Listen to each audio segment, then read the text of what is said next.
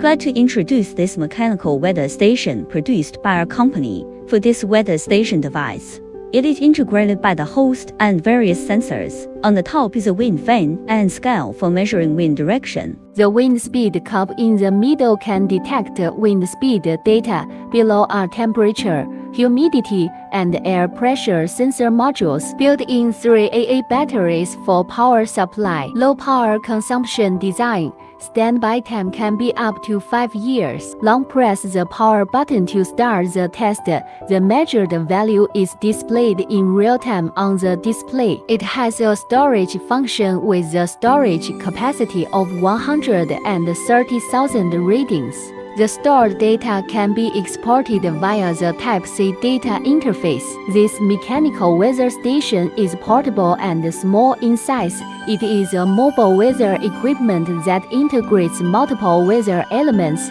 adopting precise sensors and smart chips. It can monitor data such as wind speed, wind direction, air pressure, temperature and humidity, widely used in agriculture, emergency rescue, environmental monitoring, meteorological observation and other fields.